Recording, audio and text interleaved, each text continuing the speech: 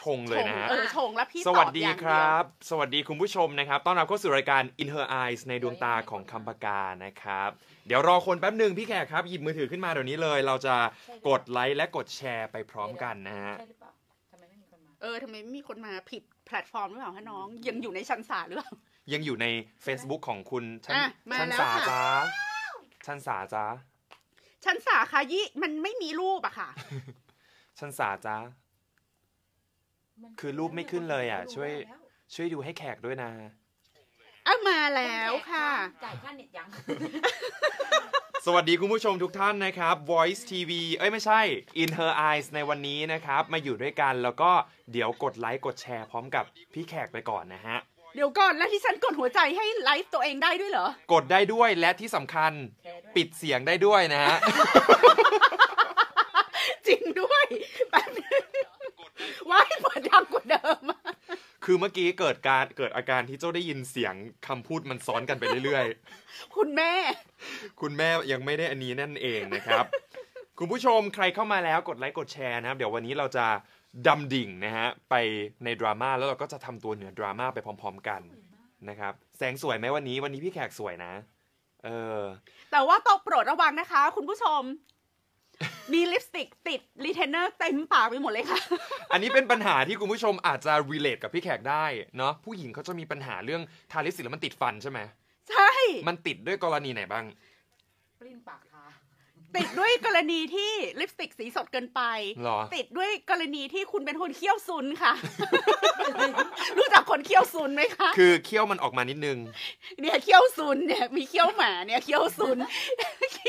มีฟันซ้อนกันมากเขาเรียกว่าเคี้ยวหมาเหรอ ฟันล้นปาก เอ้าไม่รู้จักคำว่าเคี้ยวหมาเหรอคะโอ้ยพูดขนาดนี้เจ้าไม่กล้าอ้าปากคุยกับพี่แขกแล้วเนี่ยใครมีปัญหาเรื่องเคี้ยวซุนและลิปสติกติดอยู่แถวๆฟันเหมือนแขกบ้าง เฮ้ยมันเป็นมันเป็นกันทุกคน แล้ววันนี้แล้ววันนี้คือ แต่ว่าคุณผู้ชมก็จะไม่เห็นถ้าพี่แขกไม่บอกตอนแรกนะยิ้คมรับ และลิปติด เออยิ้มและลิปติดนะครับ สวัสดีคุณผู้ชมทุกคนนะครับ อะ อยู่กับเราเอายังไงดีเนี่ย250กว่าเฮาแล้วจูนะฮะ เฮาจูเปิ้นมาอยู่กับเฮาสองร้อยห้าสิบคนแล้วเจ้าข้าเจ้ายังไม่ได้แชร์เลย ครับเดี๋ยวก่อนผม เนอะขอข้าเจ้าแชร์กังวันนี้นะฮะ เราจะมาในคอนเซปต์ที่ว่า โป๊ะมา โป๊ะกลับไม่โกง หลาย ๆ คนเนี่ย เกิดอาการโป๊ะแตก พี่แขก โป๊ะแตกเลยโป๊ะแตกแปลว่าอะไร โป๊ะแตก แปลว่า โป๊ะแตกแปลว่าอะไรอะโป๊ะแตกแปลว่า หน้าแตกงี้เหรอ หน้าแตก เออ โป๊ะแตกแปลว่า พลาด พลาดแบบพลาดแบบรุนแรง โป๊ะแตก เช่น ไปกล่าวหาคนเขาว่าอย่างนี้ แต่สุดท้ายเขาไม่ได้เป็นแบบนั้น แล้วเราออกตัวแรงไปแล้วนะฮะ อันนี้เป็นปัญหาในชีเราวิตประเราจำวันไลฟ์กันมาแล้วครั้งหนึ่งกรณีน้องมิ้งกับกัปตันครับผมแล้วตอนนั้นเราก็ตั้งชื่อหัวข้อว่าหญิงก็ร้ายชายก็เลว แต่เราก็จะทำหน้าที่เผือกของเราต่อไป แล้วตอนนั้นมันก็มีบอกว่าน้องมิ้งท้องครักับตันไม่ยอมรับอืมความโป๊ะตอนนั้นดีดีใจมากที่เราไม่โป๊ะนะคะอืมอืมอืมก็จะมีกระแสสังคมค่ะด่ากับตันหนักมาก ด่าทั้งกับตันไปถึงพ่อแม่ด้วยนะ แล้ว reaction ก็มีต่างๆกระแสว่าจะบอยคอรดไหมเอจะอถูกเออถอดออกจากสังกัดไหมชีวิตนี้ชีวิตจะการหาแสไหมดง ชีวิตการแสดงจะจบลงแล้วเออหน้าที่การงานจะจบลงแล้วครับโป๊ะแตกแปลว่าจับวอกได้ เออ ไล่วอกได้ ไล่วอกได้ แล้วเออที่นี่วันนั้นเนี่ยเราวิเคราะห์กันอย่างนี้อืมแขกวิเคราะห์ว่า เฮ้ยทำไมคนต้องไม่ด่ากับตันขนาดนั้นครับแขกจะยกตัวอย่างอย่างนี้นะคะ ถ้าเกิดว่าโจไปนอนบ้านอุ้ม แล้วก็มีความผิดพลาดบางประการวิ่ไปงล้มได้เสียกันวิ่งล้มเออวิ่งล้มมีน้ำอสุจิพุ่งชนไข่แล้วอุ้ม อุ้มคะส่งเสียงหน่อยอุ้ม มาค่ะ เอเออออุ้มก็ท้อง แต่สองคนเนี้ย ไม่ได้อยากจะแต่งงานกัน แล้วโจ้อืมก็ไม่เคยอยากแต่งงานกับอุ้มแม้ว่าลึกๆ อุ้มจะอยากแต่งงานกับโจ้แล้วก็ปล่อยท้องแล้วก็ไม่ยอมไปทำแท้ง แล้วโจ้ก็บอกว่า หัวเด็ดตีนขาดก็ไม่เอาอีนี่เป็นเมีย ไม่แต่งแน่นอน ไม่แต่งแน่นอน แต่ว่าถ้าพิสูจน์เพดีราะว่าเอ็นับถือเป็นคุณแม่คนหนึ่งและแต่ว่าขอไปตรวจ DNA นะครับก็ไม่แน่ใจว่าที่ท้องเนี่ยลูกโจ้หรือเปล่า เพราะเอหอกล้มใส่ครั้งเดียว เออ ทีนี้ตรวจ DNA แล้วปรากครัฏบว่าเป็นลูกโจ้จริงเออเออสำหรับแขกโจ้ก็ยังมีสิทธิ์ยืนยันว่า ไม่แต่ง ไม่เอาเป็นเมีย คือแม้ว่าจะเป็นลูกโจ้จริง ๆ ก็มีสิทธิ์ที่จะไม่ต้องยอมรับ คือไม่แต่งได้ไงอืมอืมไม่ต้องไปแต่งงานกันอืมแต่สังคมไทยจะบอกว่ามึงไม่แต่งงานกับเขาได้ยังไงมึงทำเขาท้องแล้ว ผิดผี ไม่เชิงผิดผีก็จะรู้สึกว่าโจ้เป็นผู้ชาย ไม่ไม่เป็รับนผิดลูกชอบผู้ชาย เออไปเอาผ้าถุงแบบมาใส่ เออ หน้าตัวเมียทำแล้วไม่รับขี้ขลาด คือความเป็นชายของโจ้ก็จะล่มสลายไปเลย แต่เออทั้งทั้งๆที่มันมีทางออกก็คือ โจ้ก็บอกว่านอกจากจะไม่แต่งแล้ว ครับไม่ได้อยากรับรู้ถึงสถานะความเป็นพ่อออืมแต่ช่วยส่งเงินให้ได้ไหม อืมอืมอืมอะไรอย่างเงี้ย อาจจะช่วยเหลือก็ได้แต่ขอไม่ยุ่งเกี่ยว ขอไม่ยุ่งเกี่ยว เออ ไม่นับญาติ เออ เออ เพราะมันเป็นความผิดพลาดครั้งหนึ่งก็ก็สถานะความเป็นพ่อมันไม่ควรมาโดยอัตโนมัติถึงขนาดนั้น อืม อืม แต่แต่ คนก็บอกมันไม่แฟร์นะ แต่ปฏิเสธไม่ได้จริงๆว่าคนส่วนใหญ่แล้วเนี่ยเขาก็จะอยากให้แต่รับคผินดชก็อบบอกว่าอ้าวแล้วคนเป็นแม่อะมันปฏิเสธความเป็นแม่ไม่ได้ ก็กลับมาที่ประ ประเด็นนี้นะคะ ถ้าอืมอุ้มก็บอกว่ากูก็ไม่ได้อยากเป็นแม่เออแต่เผอิญว่ามันมดลูกมันอยู่กับเรานึกออกไหมครับคืออุ้มไม่สามารถทำแบบโจ้ได้ว่าเออเออไม่เออเอาส่งเงินอย่างเดียวได้ไหมหรือครับทำเป็นไม่รู้จักกันเลยก็ได้ไหม เพราะว่ามันไม่ได้เกิดจากความยินยอม มันไม่ได้อืมเกิดจากฉันทามติร่วมกันขครัองบคนทั้งคู่ แล้วถ้าไม่อยากจะรับเนี่ยทำยังไงอะก็คือ เผอิญโจ้ไม่มีมดลูกใช่ไหมเออโจ้ก็สามารถเดินออกไปได้ทันทีไม่ครับรับไม่เอาไม่เป็นไม่ไม่ไม่รับรู้ ตัวเลือกของโจก็คือเดินออกได้เลย หรือถ้าโจ้จะมีคุณธรรมอืมนำนิดหน่อยก็คือ เป็นพ่อให้ได้แต่ไม่แต่งงานกันคือมีสามระดับนะอ่าไม่เอาเลยครับไม่รับรู้ เพราะครับเราไม่ได้คุยกันเรื่องเราจะมาทำลูกกันอืมสองโจ้มี โจ้เป็นคนดีมากบอกโอเคฉันยอมรับสถานะความเป็นพ่อแต่ฉันไม่เป็นผัวเธออ่าแต่ว่าฉันจะช่วยเธอเลี้ยงลูกอะแล้วก็ช่วยดูแลและและให้เด็กเรียกฉันว่าเป็นพ่ออมคือเรามีความสัมพันธ์พ่อลูกครับ แม่ลูกพ่อลูก แต่อืมอันเนี้ยไม่ใช่พ่อไม่ใช่แม่ผัลูวกเมียที่จะมาอ่าเป็นหัวเมียกันครับ เคสที่สามก็คือไม่เอาอะไรเลย เดินเดินหนีไปเลยบอกไม่รู้ไม่รับผิดชอบเธอลูกเธอปล่อยให้ท้องจนเก้าเดือนเนี่ย เธอก็อ่าเลี้ยงไปครับมันถึงกลับมาประเด็นที่แขกพูดอยู่เสมอเรื่องสิทธิเหนือเนื้อตัวร่างกายของผู้หญิงว่า ผู้หญิงทำแบบโจ้ได้ไหม ไม่ได้ ได้ อ๋อทำแท้งภาย ใน12อาทิตย์เลยคะอ๋อคุณก็ไปยุติอืมอืมการตั้งครรภ์ซะครับภายใน 12 อาทิตย์แรกครับ แล้วนี่ก็คือเหตุผลว่าทำไมเราจึงเรียกร้องให้การยุติการตั้งครรภ์อืมโดยปราศจากเงื่อนไขครับของผู้หญิงถูกกฎหมายเสียทีอืมตรงนี้แหละที่เขาเรียกว่าสิทธิเหนือเนื้อตัวร่างกาย ไม่ใช่ว่ามดลูกอยู่กับเราแล้วเผอิญเนี่ยอสุจิมาวิ่งชนไข่อืมแล้วอยู่ในท้องเราแล้วเราจะต้องได้สถานะความเป็นแม่โดยปริยายไม่ใช่ และแบบไม่มีทางเลือกอื่นแล้ว ใช่ อุ้มก็ควรมีทางเลือกได้เหมือนโจอืมคือมีทางเลือกสามทางเท่ากันครับอุ้มไม่ควรเหลือทางอุ้มไม่ควรเหลือ ไม่เหลือทางเลือกเพียงเพราะอุ้มมีหมดลูกอืมเข้า ใจหรือยังคะคุณผู้ชม อันนี้แหละคือชัดหัวเจนใจเออหัวใจของสิ่งที่เรียกว่าสิทธิเหนือเนื้อตัวร่างกายก็คือ ถ้ามีอสุจิมาชนกับไข่เราโดย จะโดยตั้งใจหรือไม่ได้ตั้งใจจะโดยฟินหรือไม่ฟินอาจจะด้วยเหตุผลใดก็แล้วแต่แล้วครับเราตื่นขึ้นมาวันหนึ่งฉันท้องฉันต้องฉันสามฉันไม่เป็นแม่ได้ไหมอืมเหมือนที่โจ้บอกว่าฉันก็ไม่เป็นพ่อได้ไหมอืมก็แค่ไม่ได้ทำให้เด็กเกิดมา หรือไม่ได้ทำให้เกิดการปฏิสนธิจนสุดสุดสิ้นสุดกระบวนการจนกลายเป็นมนุษย์เป็นคนไงอืม ซึ่ง 12 สัปดาห์แรกที่ว่าเนี่ยมันเป็นช่วงเวลาที่ปลอดภัย ใช่อืมเป็นช่วงเวลาที่เขา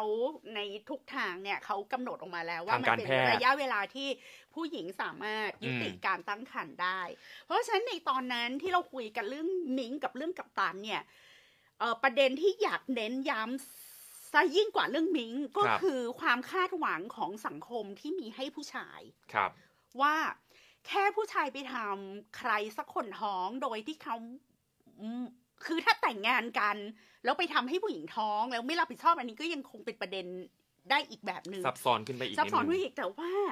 ถ้าเกิดมันเป็นเรื่องอย่างเงี้ยทำไมอืมทำไมสังคมต้องลุมประนามผู้ชายอืมขนาดนั้นครับแล้วทำไมผู้ชายจะต้องแบกเอาวาทกรรม แล้วมันเป็นวาทกรรมยอดนิยมในสังคมไทยด้วยนะ คือเป็นแบบผู้ชายแท้ต้องไม่ทำร้ายผู้หญิง อืม ผู้ชายแท้ต้องเทิดทูน เพศแม่ เพศแม่ ผู้หญิง เพราะผู้หญิงเป็นเพศแม่ เธอจึงต้องได้รับการเทิดทูนไว้ ในสถานะอันสูงสุด ซึ่งแขกไม่ซื้อเลยไง แล้วแขกก็พูดแบบร้อยครั้งพันครั้งว่าแขกไม่ซื้อ วาทกรรมนี้แล้วก็ไม่ซื้อคุณค่าสุดนี้ เพราะแขกคิดว่า ผู้หญิงอะแค่ลำพังการเป็นผู้หญิงอะมันก็เพียงพอแล้วที่คุณจะได้รับ การเคารพโดยที่คุณไม่ต้องพ่วงเอาความเป็นเพศแม่อืมมาไว้กับตัวเอง แล้วผู้ชายก็ควรจะเคารพมนุษย์ด้วยกันอย่างเสมอหน้ากันอืมไม่ใช่ไปเลือกปฏิบัติว่าทำร้ายผู้ชายได้แต่ทำร้ายผู้หญิงไม่ได้ อันมันใช่เหรอคะมอืมมัน อันนั้นคือแบ่งแยกชัดเจนมาก มันชอบมีคนพูดหล่อๆไงเออทำไมมันฟังมันแล้วดูดีมันเกิดขึ้นมาจากอะไรพวกวาทกรรมพวกเนี้ย เพราะว่าอย่างอดีตที่เคยฟังมันเป็นพี่แขกพูดที่เมื่อก่อนเนี่ยผู้ชายจะสูงเท่ากัน ส่วนผู้หญิงเป็นเพศที่เอาไว้เอ่อสร้างลูกสืบหลานเฉยอืมๆอันนั้นแสดงว่ายังไม่ได้ถูกเทิดทูนถูกไหมสมัยนั้นนะคือมันมองอย่างนี้ คือไอ้วาทกรรมอันเนี้ย มันมีไว้ให้พวกผู้ชายแบบ ชิงหล่อกันน่ะเออแล้วคนที่อำนาจคนที่พูดพวก ประโยคแบบนี้บ่อยๆ ก็จะเป็นพวกคนหล่อๆนะฮิวโก้อะไรอย่างเงี้ย เวลาให้สัมภาษณ์อะโอ้โหอ๋อผู้หญิงคือเพศแม่ แล้วก็ ฟังแล้วดูอบอุ่น เออบูชิดอะคือไม่ต้องเหรอเป็คนรับคนเหมือนกันไม่ได้เหรอ ไม่ต้องเออเป็นเพศพ่อเพศแม่ไม่ได้เหรออืมก็เคารพนับถือกันในฐานะที่เป็นคน ไม่แล้วมันทำให้ผู้ชายชิงหลอกคือแข่งกันเป็นสุภาพบุรุษ แข่งกันถือกระเป๋าให้ผู้หญิง แข่งกันลุกให้ผู้หญิงนั่งอืมอืมอืมแข่งกันบริการผู้หญิงอะไรก็ไม่รู้ที่แขกรู้สึกว่า มันยิ่งทำให้ผู้หญิงดูอ่อนแอ ทุกวันนี้เนี่ย แล้วผู้หญิงคนก็ชอบอ่าอันนี้คือกับดักของเฟมินิสต์ไง มันรู้สึกดีรู้กับสึกดัชอขอบงเฟมินิสต์ก็คือกรี๊ด แบบว่าเป็นผู้ชายที่ทนุถนอมผู้หญิง เห็นผู้หญิงเป็นเพศที่อ่อนแอบอบบาง เห็นผู้หญิงเป็นดอกไม้แสนงามอืมที่จะต้องปกป้องนี่คือแม่ ผู้อ่อนโยน มันก็จะเป็นภาพมาดอนน่าเป็นภาพแบบรูปปั้นพระแม่อะไรแล้วก็เออเออเอออุ้มลูกมีออร่าเออ รังสีรอบหัว มีความเป็นเทพเพศแม่ก็อดเดสขึ้นมาเออเออเออแล้วผู้ชายก็ต้องบึกบึนเข้มแข็งแล้วก็อบเทคแคอุ้ร์มดูแลโอ้แล้วป้องก็ปกป้องปกป้องมแล้วแขกก็แบบ โอ๊ยเฉยแล้วก็จะลำคาญลำคาญอีพวกผู้ชายที่พยายามจะลำคาญทั้งผู้หญิงผู้ชายอะอีพวกผู้ชายโชว์หล่อเนาะก็ต้องแบบกูแมนกูให้เกียรติผู้หญิง กูไม่ทำไรายผู้หญิงถ้ากูทำผู้หญิงท้อง กูต้องรับ นี่คือแสดงความเป็นแมน แล้วพอผู้หญิงท้องเนี่ย จะท้องโดยตั้งใจหรือไม่ตั้งใจกันอย่างที่แขกบอกอะค่ะ เวลาคนมันท้องนี่มันมันฟินทั้งคู่นะคะ มันไม่ใช่มีฟินอยู่คนเดียวนะตบมือข้างเดียวมันไม่ดังนะคะ ไม่ได้ไปโดนข่มขืนไม่ใช่เหรอ ก็จูบมือกันขึ้นเตียงไปเอากันขำๆสนุกสนุกอะแล้วอยู่ๆทำไมจะต้องแบบผู้ชายต้องแมน แล้วผู้หญิงต้องร้องไห้อืมแล้วก็จะต้องมีผู้ชายแข่งกันแมนแข่งกันหล่อแบบ โอ้สงสารจัง เลย โอ้หัวอกแม่จะเป็นยังไง ถ้าเรามีลูกสาวเจออะไรแบบนี้เราจะทำยังไง เพราะถ้ามันพากันอ่อนแอพากันป่วงทางตักกะไปกันหมดอะ แต่เอาจริงสมัยนี้เนี่ย คนที่เรียกร้องความเท่าเทียมอะ พี่แขกอืมทั้งเพศชายเพศหญิงเนี่ย ส่วนใหญ่แล้วเขาก็ยังเชื่อในเรื่องผู้ชายดูแลผู้หญิงแบบนี้อยู่นะ ทั้งๆที่เรียกร้องความเท่าเทียมกันเนี่ยแหละ มันเหมือนมันเป็นช่วงเปลี่ยนผ่านไหมที่คนจะต้องปรับตากานี้ มันก็ดีนะคะ ถ้าเราจะมีผัวรวยอะเออไม่ใช่ว่าไม่ ดีนะครับแต่มันดีมากเลยค่ะ ถ้าเราจะมีผัวรวย แล้วก็ปลนเปลือเราด้วย เอาทองมาห่มเราซื้อเพชรให้ทุกวันซื้อกระเป๋าเออแพงๆทุกวันครับก็ดีเออคือมันไม่ได้ตัดสินกันแค่ว่าใครเลี้ยงใครครับแต่ท้ายที่สุดเนี่ยจุดที่สำคัญที่สุดคือจุดไหนที่เรารู้สึกว่าเราเข้มแข็งครับจุดไหนที่เรา independent อืมเพราะฉะนั้นความ independent ของผู้หญิงเนี่ยมันไม่ได้แปลว่า คุณใช้เงินผัวหรือเปล่าอืม คือคุณจะใช้เงินผัว คุณก็ยังมีความเป็น independent เป็นของตัวเองดูแลได้เหมืตัอวนเอกังนได้ แล้ววันไหนผัวเขาหยุดให้เงินคุณคุณก็ไม่เดือดร้อน อืมประเด็นมันอยู่ตรงนี้อืมประเด็นมันอยู่ที่ว่า โดยไม่มีปัจจัยเหล่านั้น คุณคุณยังอยู่สามารถอยู่ได้ เออ คุณยังสามารถอยู่ได้ไหมอืมไม่ว่าในทางกายภาพ ในทางเศรษฐกิจ ในทาง financial ครับในทางจิตใจอืมอันนั้นน่ะคือจุด independent เพราะฉะนั้นแขกไม่ได้ปฏิเสธว่าผู้ชายไม่ควรดูแลผู้หญิงผู้หญิงไม่ควรดูแลผู้ชายเพราะแต่ละคู่ มีเงื่อนไขปัจจัยการใช้ชีวิตไม่เหมือนกันครับบางคู่ ผู้หญิงก็สะดวกใจจะ ทำงานหาเงินแล้วก็ให้รู้ผู้สึกชายอยู่ว่าบ้านก็มีใช่ไหมสามี สามีถนัดที่จะอยู่บ้านและครับสามีก็เลี้ยงลูกได้ดีกว่าเราอืมสามีทำกับข้าว แล้วก็เขาก็อยู่กันได้อย่างมีความสุข โดยที่ผู้หญิงเป็นฝ่ายทำงานนอกบ้านอืมแล้วสามีอยู่บ้าน ซึ่งมันอาจจะไม่ค่อยเห็นมากในสังคมเฉยๆมันก็เลยไม่ได้มีภาพนั้นติดเพราะตาว่ามันมีภาพจำแล้วคุณก็ไปฟิกซ์อยู่กับสูตรสำเร็จหนึ่งครับสูตรสูตร A สูตร B สูตร C อืมๆเพราะฉะนั้นคนร้อยคนนะคะมันอาจจะมีร้อยสูตรครับสำหรับการใช้ชีวิตคู่และสำหรับการแบ่งงานกันทำอืมอย่าไปคิดว่าใครดูแลใคร เวลาคนสองคนมาอยู่ด้วยกันแต่งงานเป็นผัวเป็นเมียกันคเนี่ยรับ คุณก็ต้องเอาโจทย์ในชีวิตจริงคุณมาตั้ง บ้านอยู่ที่ไหนมีรถกี่คันอืมใครทำงานที่ไหนใครเงินเดือนเท่าไหร่มีค่าใช้จ่ายเท่าไหร่ จะมีทำให้มันฟังก์ชันได้ยังไงเออและเออในและในเงื่อนไขทางภูมิศาสตร์ด้วยเนี่ยนะคะอืมแต่ทั้งนั้นรถติดทั้งนี้รถไม่ติดเนี่ยอืมอืมอืมช่วยเอาโจทย์ที่เป็นเป็นเป็นเอ่อคอนกรีตอะคือเป็นเป็นรูปธรรมอะครับมาตั้งแล้วก็ปรับสูตร โดยที่ไม่ต้องไป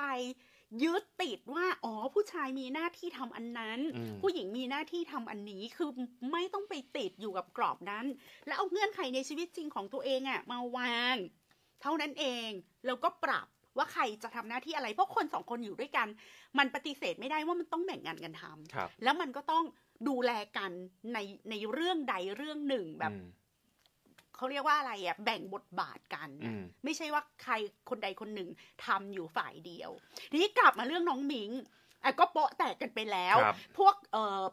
คนแมนแมนๆทั้งหลายเนี่ยก็พากันด่ากับตานไปเรียบร้อยแล้ว ว่าหน้าตัวเมียไม่แมนไม่มีความรับผิดชอบ โอ้ผู้หญิงก็น่าสงสารเหลือเกิน แต่ในความน่าสงสารนั้นทีมงานเราทำตัวเลขมาค่ะ คุณผู้ชมตัวเลขทีมน่ากลังาวนมากเราทำตัวเลขมายังไงคะ ก็ตั้งแต่เกิดเรื่องมาคือใน Instagram ของมิงเนี่ยมีการรีวิวสินค้าไปแล้วประมาณ 45 ชิ้น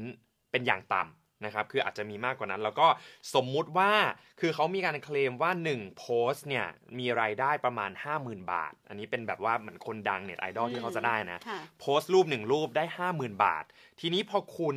45 ครั้งออกมาเนี่ยมันกลายเป็นเงิน 2 ล้านกว่าบาท นี่เฉพาะหลังจากที่เป็นข่าวนะฮะก่อนโปะแต่มิงทำงานทำเงินไปแล้วสองล้านกว่าบาท ถูก ตามที่ทีมงานเราคำนวณออกมา อันนี้คือในระยะเวลาสั้น ๆ เออตั้งแต่เกิดเรื่อง เพราะฉะนั้นทุกคนก็เลยบอกว่า มันเป็นหนทางหนึ่งหรือเปล่าที่เธอวางแผนหรืออะไร แล้วถ้ามันเป็นหนทางหนึ่งแขกขอถามความเห็นคุณผู้ชมหน่อยครับ ว่าคุณผู้ชมเห็นยังไง เอาความเห็นเอาความความเห็นใครก่อน เอาของพี่แขกก่อน เอาความเห็นใครก่อน ถ้ามิงนะคะ จะแฟบริเคตเรื่องพวกนี้มาตั้งใจทำให้มันเป็นตามแผนแบบโพนี้สต์มาแบบนี้ เพื่อที่จะทำเงินได้สองล้านกว่าบาทในระยะเวลาสามเดือน ครับ แขกก็รู้สึกว่า มันเจ๋งมากเลยค่ะน้อง น้องเก่งมากเลยค่ะ นี่พูดไม่ไม่สนเอยไม่สงสารกับตันเลยเหรอพี่แขกเดี๋ยวกลับตันไปอีกเรื่องหนึ่งอ่าโอเคอะเอาพูดเอาพูดเอามิงก่อนนะ เอาสมมุติว่าประเด็นมิงก่อนว่าวางแผนแล้วมันทำได้อย่างนี้จริงถ้าเกิดทั้งหมดเนี้ยเกิดจากการวางแผนๆครับคือถ้าเหตุผลของมิงเนี่ยเขาบอกว่าเขาทำเพราะเขารักเขาอยากอืมได้กัปตันมาเป็นผัว อยากให้กัปตันแต่งงานเขาแล้วก็เลยไปโกหกว่าเขาท้องเออแต่ว่า by product อะค่ะ ผลพวงของเรื่องเนี้ยทำให้ทุกคน nobody อืมคือผู้หญิง no name คนหนึ่งเนี่ย เป็นคนที่ถูกพูดที่ถึงถึงกมากลาที่ยสุด มาเป็นที่รู้จักแล้วสามารถทำเงินจากการรีวิวสินค้าได้สองล้านกว่าบาทก็บอกว่า ขอปรบมือให้ น้องเก่งมาก เก่งมากจริง เออ นี่เราจัดรายการกันมาจะถึงหรือยังเนี่ยสองล้านกว่าบาท โอ้โหอีกนานเท่าไหร่ดิฉันมีชีวิตมาจนอายุ 46 ดิฉันยังไม่เคยเห็นเงินล้านเลยค่ะ อยู่ไหนคะ อยู่ในกระเป๋าครับ เงินล้านคืออะไร คือสองล้านเพราะฉะนั้นแขกก็อืมรู้สึกว่า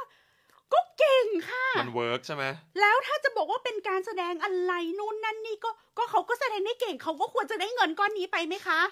แล้วมันเป็นความผิดของมิงเหรอคะ ที่ได้เงินสองล้านกว่าบาทอีสินค้าทั้งหลายถ้าเห็นว่าเขาทำผิดเอาไปให้เขารีวิวทำไมคะ อืม มันไม่ใช่ความผิดของมิงค่ะ มิงเขาก็อยู่ครับเฉยๆ คุณอืมเป็นคนเอาสินค้าไปให้เขารีวิวเองเออส่วนกับตันค่ะครับคุณควรสิ่งที่คุณควรจะต้องทำค่ะ ฟ้องค่ะเออฟ้องร้องค่าเสียหายต่อผู้หญิงที่ทำให้คุณเสื่อมเสียชื่อเสียง สูญเสียรายได้เออชีวิตหน้าที่การงานคุณเสี่ยงที่จะล่มถูกจตัดมงานไปเท่าไหร่ถูกแคนเซิลงานไปกี่งาน คิดมาเลย ถ้าแขกรู้ว่ามิงทำเงินได้สองล้านกว่าบาทแขกเป็นกัปตันแขกจะฟ้องเอามาสองล้านเออ คือถ้าเป็นในเคสต่างประเทศคือเรื่องพวกเนี้ยเกิดขึ้นบ่อยมากเลยเนาะฟ้องมานู่นคนี่นั่นร่ำครวญอืมค่ะ ไม่ต้องมาคุยคลายความดีค่ะ เรื่องอย่างนี้ ใครใครเข้มแข็งคนนั้นชนะเอออ่อนแอก็แพ้ไป อันนี้คือมองแบบว่ามองให้มันเป็นเรื่อง simple จริงถ้าใครเป็นกัปตันแขกก็ฟ้องๆครับ และนี่เกิดอะไรขึ้นคะ ถอนฟ้องหมดเลยค่ะ ทั้งแพ่งทั้งอาญา ใช่ค่ะ ถอนฟ้องหมดเลย ก็ไม่เป็นไร ก็แดกก็ก็ก็ได้ภาพเป็นคนดีราดได้ภาพเป็นคนดีถอนฟ้องทั้งหมด ก็อาจจะมีกัปตันรีวิวสินค้าอีก อาจจะมีสินค้าให้กัปตันรีวิวอืมนี่สุภาพบุรุษอืมอืมนี่คือผู้ถูกกระทำเป็นการสร้าง character ขึ้นมา นี่คือผู้ที่มีจิตใจดีอืมโดนกระทำขนาดนี้ก็ยังไม่ฟ้อง เอาสินค้าไปรีวิวอีกห้าล้านบาทเอออุ้ยชนะกว่าชนะกว่าฟ้องอีกไม่ต้องเสียค่าทนายด้วย ไม่ไม่ได้พูดในเรื่องที่เป็นไปไม่ได้ด้วยนะ มีสิทธิ์เป็นไปได้ด้วยนะ เออ เพราะว่า อย่างกรณีของมิงก็ยังทำมาแล้วนะฮะเขาอาจจะมองเป็นตัวเลขไว้แล้วหรือเปล่าว่า มันดีกว่าการที่ฟ้องเขาถร้ออนงฟ้องเนี่ยเออประเมินออกมาแล้วนะ มากกว่า2ล้าน2แสนแน่นอนพี่แขกสรุปแล้วใครแพ้ พวกเราแพ้กันหมดเขาชนะกันหมดค่ะเขาทำมาหากินกันได้หมดเลยค่ะ ฟังเราเครียดนะครับ แล้วเมื่อวาน ก็มีเพื่อนโทรมาถามว่าเออคิดยังไงกับเรื่องนี้ครับเออน้องมิงเนี่ยเขาเพื่อนบกโทรมาถามเลยเหรอเพื่อนโทรมาถามเลยค่ะ เพื่อนบอกก่อนแสดงว่าเพื่อนน่าจะเพื่อนเป็นคนที่ไปบอกก่อนไปด่าไว้หรือเปล่าเพื่อนบอกก่อนนิตยสารเล่มหนึ่งนะคะเออเออถึงกับเออโทรมาบอกว่าเออคือแบบไม่ไหวแล้วอะอยากอยากรู้ว่า สำหรับแขกแขกคิดยังไง ว่าน้องมิงเนี่ยเขาจะมีที่ทางในสังคมไหมโอ้โหทำไมจะไม่มีคะ คนไทยขี้ลืมจะตาย อีกสามเออเดือนก็ลืมค่ะครับอีกสามเดือนน้องมิงก็กลายเป็นคนดัง อีกสามเดือนน้องมิงก็อาจจะไปถ่ายแบบอืมอีกสามเดือนน้องมิงก็ถ่ายโฆษณาอืมแล้วอีกหกเดือนนะคะสองคนนี้ก็จะกลับมารับงานคู่กัน ใช่ แล้วก็จะมีการเขียนเดี๋ยวเขียนบทให้เลย เออมิงได้เรียนรู้แล้วค่ะว่าสิ่งที่มิงทำอะมันไม่ดีเลย มิงทำร้ายคนอื่นจากความรู้เท่าไม่ถึงการของมิงเออตอนนี้มิงได้บทเรียนนั้นแล้วค่ะ มิงมิงเติบโตแล้วนะครัคะบคนเราเติบโตจากความผิดพลาดค่ะครับแล้วขอบคุณสังคมที่ให้อภัยให้โอกาสอะแล้วมิงจะเออเป็นคนดีของสังคมต่อไปนะคะ อะแล้วส่วนกับตันล่ะครับ คิดคิดยังไงบ้างกับเรื่องนี้ โอ้กัปตันเขาจบแล้วไงเขาไม่ฟ้องนี่เขาจบแล้วอ๋อเหรอ เขาชนะทุกอย่างแล้ว อ๋อ แต่ส่วนมิงเนี่ยบทต่อไปก็คือได้เรียนรู้จากความผิดพลาด ได้เติบโตแล้วเออเออแมทชัวร์ค่ะแมทชัวร์ได้มีวุฒิภาวะจาเป็กนความผู้ผิดหญิงพลาคดนใหม่ เป็นผู้หญิงคนใหม่ เออ หลังจากที่กระทำสิ่งเหล่านี้ถ้าไม่ ผ่านการกระทำสิ่งเหล่านี้ก็จะไม่ได้บทเรียนก็จะไม่ได้เติบโต ในฐานะที่สองคนนี้เขาชนะกันไปแล้ว เขาชนะกันไปแล้วคแล้วนเขาแพ้แล้วเพื่อเอ่อเพื่อนพี่ไข่ก็ถามมาอีกอย่างหนึ่งอืมว่า เออเขาจะมี เออแล้วแล้วแบบเขาทำชั่วมากเลยนะอืมนี่เออเพื่อนเชื่ออย่างนี้เออเขาทำชั่วมากเลยนะ สังคมให้อภัยเขาได้ยังไง มันเป็นความผิดที่แย่มากเขาจะทำให้เด็กผู้ชายคนหนึ่งเนี่ยทำลายเสียอชีวินาตคคนตหนึ่งเลยไปนะแล้วเธอเออโอ้เขาชั่วมากเขาชั่วมาก เดี๋ยวมันแขกรู้สึกว่าในประเทศเนี้ยค่ะ มีคนชั่วกว่ามิงอีกเยอะค่ะ ถ้าคิดว่ามิงโกหกนะคะ มีคนโกหกมากกว่ามิงแล้วโกหกในเรื่องใหญ่กว่านี้อีกเยอะมากค่ะ โอ้ฟังแล้วอยากจะถามต่อจังเลยแต่ไม่กล้า แล้วที่อยู่อยู่ๆกันมา ตัวเราเองด้วยเนี่ยนะคะอืมอืมเคยหันกลับมาดูตัวเองหรือเปล่าว่า เกิดมาไม่เคยโกหกกันเลยเหรอคะอืมเกิดมาไม่เคยทำชั่วเหรอคะอืมโอ้ยมาถามดิฉันค่ะ ดิฉันรู้สึกว่าดิฉันไม่มีสิทธิ์อะไรจะไปประนามมิงเลยค่ะอืมเพราะดิฉันทำความชั่ว ยิ่งกว่าน้องวิงมาแล้วในทุกเรื่อง เพราะเราเลยรู้สึกว่าเขาโอเคถูกไหมคือไม่ได้ขนาดนั้นไม่ได้เลวขนาดนั้น it's not the end of the world ค่ะเออการที่เด็กผู้หญิงคนหนึ่งจะด้วยอยากรวยจะด้วยอืมอยากให้อืมผู้ชายมันรักจะด้วยอยากแต่งงานหรือ จะด้วยอะไรก็ไม่รู้ไม่มีใครไปรู้ความความคิดเขาทั้งหมดนี้เรานั่งเดากันหมดแต่จะด้วยเหตุผลอะไรก็แล้วแต่อืมการที่เขาทำเรื่องแบบนี้ขึ้นมา it's not the end of the world เขายังไม่ได้ฆ่าใครแต่เพราะว่าชื่อเสียงที่ดังแล้วคนทั้งประเทศเนี่ยมันให้ความสนใจแล้วคนเนี่ยลุมด่าก็เยอะมันก็เลยดูเป็นเรื่องใหญ่มาก ประเด็นนคือคนที่ไปลุมหนาแหละด่าเขาทำไมคะ พวกมึงไม่เคยทำชั่วเหรอ เออ คือมันแค่เด็กมันรู้สึกว่าอาจจะเอาเอาเอาถ้าเอาเอาใสๆนะอืมก็คิดอะไรไม่ออกอะอืมอืมแต่อยากเรียกร้องอะไรบางอย่างจากผู้ชายคนเนี้ย แล้วก็คิดได้สั้นอืมๆตามวุฒิภาวะของเขาก็เลยไปโกหกว่าท้อง เพราะว่าเขาก็บอกว่าไม่คิดว่ามันจะเป็นเรื่องใหญ่ขนาดนั้น คือคือเราไม่ต้องเอาคำพูดของเขามาคิดแล้วนะอืมเราแค่คิดเป็นเป็นเป็นแบบสถานการณ์สากลอะเออแล้วแขกก็คิดว่ามนุษย์ทุกคนก็เคยผ่านสถานการณ์อะไรแบบนี้มาแล้วครับโกหกเพื่อเอาตัวรอดอืมอืมในเอ่อปัญหาเฉพาะหน้า เอาตัวรอดเอาชนะ เอาตัวรอดเอาเออชนะ เราเราทุกคนหรือไม่ใครไม่เคยทำคะต้องแขกถามเคยณผู้ชอะมเนาะไม่รู้ว่าแขกทำบ่อย ลองลองมองย้อนกลับมาในสิ่งที่เราเคยทำมันน่าจะต้องมีอะแขกรู้สึกว่าตอนแขกเด็ก ๆ อะ เราก็ทำทุกสิ่งที่ชั่วทำทุกสิ่งที่ เออเอาเปรียบคนอื่นครับทำทุกสิ่งที่คอรับก็คอรับโอ้คือ เอาเปรียบหลายสิ่งเห็นแก่ตัว เออใช่แล้วมันเป็นก็เรื่องที่ทุกคนหรือเจอ หรือได้กระทำการบางอย่างที่ไปมีผลกระทบต่อชีวิตคนอื่นในทางลบอือหือเกือบทำให้ชีวิตคนอื่นพังพินาศครับทั้ทำงให้หมดคนอื่นร้องไห้ก็ทำมาคุณผู้ชมคะทั้งหมดเนี่ยแขกทำมาแล้วแขกเลยไม่กล้าด่ามิงเอาเข้าจริงเออจริงทำทำล่าบางทีสิ่งที่เราทำเนี่ยมันอาจจะเสียหายร้ายแรงยิ่งกว่าสิ่งที่น้องวิ้งทำก็ได้ แต่ว่าเวลาเราลงไปด่าใครมันง่ายไงอือหือ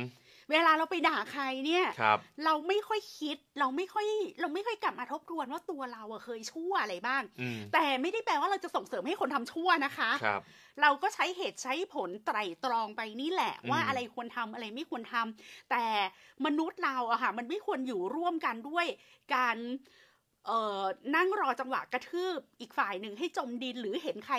ผิด เห็นใครพลาดเห็นใครทำความชั่วแล้ว เราจะต้องไปลุมสกรัมอะเราจะต้องไปลุมกระทืบ เราจะต้องไปลุมปาหิน นี่มันเป็นสังคมปาหินนึกออกปะทำไมคนจะต้องคิดที่จะไปด่าเขาได้ขนาดนั้นก่อน มันเป็นสังคมปลาหินเหรอโจสมมุติว่าเขาลงโทษผู้หญิงที่เอ่อขโมยไก่ของเพื่อนบ้านด้วยการปาหิน เนี่ยเคยขโมยหมูเพื่อนบ้านมาแล้ว แต่ไม่มีใครรู้ไปลุมปาหินกับเขาด้วยเออเออเออเออเออนึกออกไหมในบรรดาฝูงชนที่ไปปาหินแต่เอออีอีกคนที่ขโมยไก่เนี่ยอาจจะมีคนขโมยหมูขโมยวัวขโมยควายมาแล้วก็ได้ อืม อืมอันนี้มันเป็น mentality สังคมปลาหินที่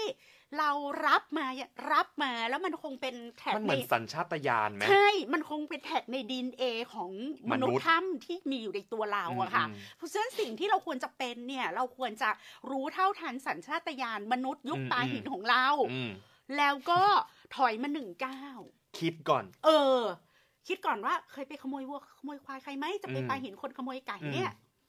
เออ แล้วก็คิดแล้วก็ เออจริงสัสังคมมันมีกฎหมายอยู่นะ เพราะว่ามันไม่มีใครบริสุทธิ์ผุดผ่องแน่นอนอะ เพราะฉันปล่อยปล่อยให้กฎหมายทำงานอืมสมมุติว่ากฎหมายบ้านเรามันทำงาน และมีมาตรฐานเดียวโอเคสมมุติว่าปล่อยให้กฎหมายทำงาน ถ้ากัปตันเขาไม่พอใจมิงก็ให้เขาไปฟ้องร้องกันครับเราไม่ต้องไปปาหินใส่ใคร เออนั่นแหละสังคมปลาหินคำเมืองวันนี้นี่คำเมืองไหมขว้างมาแห่ใส่เปิ้ลกันถ้าจะ เออเอานี่ไงการเมืองคุณผู้ชมถามว่าคำเมืองต้องใช้คำว่าอะไรครับ ทักทายทั้งสองท่านนะครับอะค่ะโอเค รักโลภโกรธหลง ทีนี้จากสถานการณ์นี้เนี่ยพี่แขกคือคือเรามักจะลืมง่ายอืมๆถ้ามันมีอะไรแบบนี้ขึ้นอีก เราควรจะทำอะไรก่อน อย่าไปยุ่งกับเขาค่ะ เพราะเขาชนะกันหมด คนที่อยู่ในข่าวเขาชนะหมดค่ะเออพวกเราเนี่ยควรจะเจียมเนื้อเจียมตน เราต้องต้มเผือกกินกันต่อไป เราต้มเผือกแต่อย่าปาหิน เออเออเออต้มเผือกได้คือสิ่งทั้งหมดที่เรามาไลฟ์คุยกันวันนี้ครัค่ะบคิดว่าประเด็นมีสามประเด็นใหญ่ๆนะคะ ประเด็นที่แขกอยากจะแก้ไขเอ่อ มายาคติของสังคมนี้ก็คือมายาคติว่าด้วยลูกผู้ชายลูกผู้หญิงอืมเออลูกผู้หญิงไม่จำเป็นต้องอ่อนแอแพ้พ่ายตลอดเวลาอืมลูกผู้ชายมึงก็ไม่ต้องมาเข้มแข็งมากอืมลำคาญอืมหรือไม่ต้องมายกย่องเทิดทูนผู้หญิงเป็นเพศแม่หรืออะไรอืมลำคาญไม่ต้องมาอวดหล่อแถวนี้ เออ แล้วถ้ามึงไปทำผู้หญิงท้องแล้วมึงไม่อยากเป็นพ่อเนี่ยมึงมีสิทธิ์อืมเข้าใจไหมมีสิทธิ์ แล้วผู้หญิงถ้าไม่อยากเป็นแม่ กรุณาไปทำแท้ง และหรือกรุณากินยาคุมทุกวันไม่ว่าจะมีเซ็กหรือไม่มีเซ็กชัวร์ค่ะ เออ ป้องกันไว้เองด้วย จริง คิดซะว่ากินให้นมใหญ่หรือกินให้ผิวสวยสิวไม่ขึ้นอะไรก็ได้ค่ะ มันกินได้ตลอดเหรอเอากินได้ตลอดค่ะกินเผื่อๆไว้ปรึกษาหมอด้วยเช็คอืมฮอร์โมนตลอดเวลาอืมถ้าไม่อยากท้องและไม่อยากทำแท้งเออฝังยาคุมก็ได้ค่ะ ฝังทีหนึ่งได้ห้าปีเลยค่ะ เออ ต้องรักตัวเองด้วย รักตัวเอเอองค่ะ ไม่ต้องไปคิดอะไรมากรักตัวเองไม่ก่อนไม่ต้องจะไปเป็น เอ่อผู้หญิงที่บอบบางของใคร แต่ถ้ามีการฝังยาคุมเนี่ย ถ้าสมมติวางแผนแบบนี้มันจะทำไม่ได้นะพี่แขก ก็ไม่เป็นไรไง คือแขกก็เป็นค่ะ กลัวว่าถ้ากินยาคุมแล้วเดี๋ยวคืดคืดเดี๋ยวจะไม่ได้นอนกับป้าจายเดี๋ยวมามีใครมาเอา กินยาคุมแล้วมีใครมาเอา มันคืดไม่ไม่ต้องค่ะ กินเผื่อไว้ก่อนค่ะ ไม่ท้องดีที่สุด คือคืดคือมันคืด มันคืดมันจา มัน มันเป็นอุปสรรคอะอ๋อ ไม่เหมือนเป็นเคล็ดอะเออพอกินเออยาคุมแล้ว ไม่เลยไม่มีเซ็กได้เออ๋อ อ เลยไม่ได้กิน อ๋อ กลัวกลัวจะไม่ได้กิน กลัวกลัวเป็นการทำเคล็ดให้ตัวเองอยาอยาค่ะอย่าทำแบบแขกเอค่ะอฝังยาคุมครับ ผู้หญิงนะคะ ไม่ต้องรอให้เอ่อ ฮิวโก้หรืออะไรมาเห็นว่าเพศแม่ต้องเทิดทูนไม่ต้องค่ะเทิดทูนตัวเองค่ะอืมสร้างความเข้มแข็งไว้ให้ตัวเองค่ะ หาเงินเยอะๆกินยาคุมทุกวัน ถ้าขี้เกียจกินยาคุมนะคะ เพราะแขกกินยาคุมก็พลาดได้ค่ะ กินย้อนสอนค่ะเราก็ผิดวิผิดวิธีละคือมีความดีสเล็กเซียก็กินยาคุมย้อนสอนอย่างนี้ที่จริงต้องลงมาอย่างนี้เหรอเออ แล้วพอไข่สุกปุ๊บกินเม็ดแป้ง เม็ดที่ไม่มียา ถ้าเป็นโรคแบบแขกนะคะ ฝังยาคุมเออเออกินยาคุม ฝังยาคุมครับทำงานหาเงินเยอะๆ มีความสุขเจออมผู้ชายอยากกินก็กินใส่ถุงยางให้เรียบร้อยอืมเดี๋ยวติดเอดส์ติดอะไรก็ไม่อืมรู้ ติดโรคสังคังอะไรมาเออไม่ดีเออไม่สวยเออเออ แค่นี้แหละ คือมันง่ายมากเลยนะ ที่จริงอะค่ะแค่ต้องแค่ต้องคิดก่อนนิดนึง วางแผนนิดนึง เออ แล้วก็จะได้ไม่ต้องไปแบบ มันซิมเปิลมากไม่เลต้อยงอะไปเรียกร้องให้ใครเออมาเป็นพ่อเป็นผัวเราครับส่วนผู้ชายจะให้ชัวร์นะคะ ใส่ถุงยางตลอดเวลาค่ะอืมแล้วถ้ามีผู้หญิงเนี่ยมาแอบอ้างว่าเขามีลูกกับคุณ อย่าเพึ่งกระโตกกระตากอืมเศร้าโศกเสียใจรอตรวจดีเอคิดก่อนนิดนึงเราตั้งตสรวจติดีเออืมใช่เราตรวจดีเอแล้วเดี๋ยวค่อยว่ากันเพราะว่า ถ้ายังไม่ได้ตรวจดีเอเนี่ยเราเราก็ยังไม่ชัวร์ไงว่าเป็นลูกอ่าเราจริงหรือเปล่าอ่า แล้วก็สังคมก็อย่าเพิ่งไปด่วนปาหินเขาอืมไปเอาผ้าถุงแม่มาใส่อืมหน้าตัวเมียโอ้โหเราจะเห็นวาทกรรมทำเราไม่แซ่บๆรัอบอกมาเยอะมากในคอมเมนต์ต้องทำได้ เป็นแบบบทละครอะ เหมือนได้เรียนรู้จากละครแล้วได้เอามาใช้ในชีวิตจริง เรื่องคนอื่นไอ้กายแล้วเวลาเกิดเรื่องอะไรแบบนี้กับดาราก็นั่งดูครับ อืมก็ดูไปก็เป็นตัวอย่างหนึ่งแล้ในดูด้วยชีวิตการตระหนักว่าเดี๋ยวเขาจะรวย อ่า นี่ยังไม่นับถึงหลาย ๆ กรณีที่เราเคยเจอมาแล้วในสังคมนะ แบบเมียหลวงเมียน้อยสุดท้ายจับมือหรืออะไรอย่างเงี้ยพี่แขก ก็เอาที่ทุกคนสบายใจอย่างที่เออแขกบอกค่ะร้อยคนนะร้อยสไตล์ร้อยคนร้อยแบบร้อยคนร้อยโซลูชันไม่มีใครรองเท้าอย่างเงี้ยค่ะไม่มีใครมาใส่รองเท้าเราได้หรอกรองเท้าใครก็รองเท้าใครเอาจริง ๆลำพังคนสองคนเวลามีปัญหาเขายังคิดกันไม่ออกเลย เราเป็นคนนอกเราจะไปตัดสินเขาได้อย่างไร เราไม่ได้รู้เรื่องด้วยเลยอะไม่ได้ไม่อยากไปตัดสินหรอกอีกคนพวกเนี้ยอยากปาหินอ๋ออยากมันอยู่ใน DNA มันะนเพราะฉะนั้นคือเราต้องรู้ทัน DNA ของเรา มันมันเป็นดินมันเขาเรียกว่าอะไรดีอะเป็นดีเป็นแท็กของอารยธรรมมนุษย์ถ้ำสัญชาตญาณถ้าไม่อยากเป็นมนุษย์ถ้ำก็ตั้งสตินิดนึงอืมอย่าเที่ยวไปลุมปลาหินใครอืมค่ะ เพราะว่าสุดท้ายแล้วเขาชนะนะครับ คนที่แพ้คือเรานะฮะอุ้ยสรุป ได้ดีมากชอบมากเลยโป๊ะค่ะโป๊ะมาโป๊ะกลับไม่โกงนะฮะโป๊ะมาโป๊ะกลับไม่สำหรับโกงใครที่โป๊ะแตกแล้ว ก็ยอมรับว่าโป๊ะแตกแล้วก็ใช้ชีวิตต่อไป ใช่ค่ะ it's not the end of the world นะคะครับผมเดี๋ยวพรุ่งนี้ก็มีเรื่องใหม่ให้เรา judge นะฮะเออแล้วกับตันก็ไม่ต้องไปค้ำควรมากว่าตัวเองเป็นผู้ถูกกระทำนะคะเอออยากฟ้องก็ฟ้องครับค่ะ ชีวิตมันซิมเ l ิลมากนะครับ ขอบคุณคุณผู้ชมที่อยู่กับเราตอนนี้ 300 กว่าคนนะครับ เดี๋ยวพรุ่งนี้กลับมาพบกันใหม่ In Her Eyes ในดวงตาของคำปากาครับส วัสดีค่ะ คำคมวันนี้ที่คืออะไรนะ คนยกย่องให้คือ ต้มเผือกได้แต่อย่าปลาหิน เออ ดีดีดีดีดีดี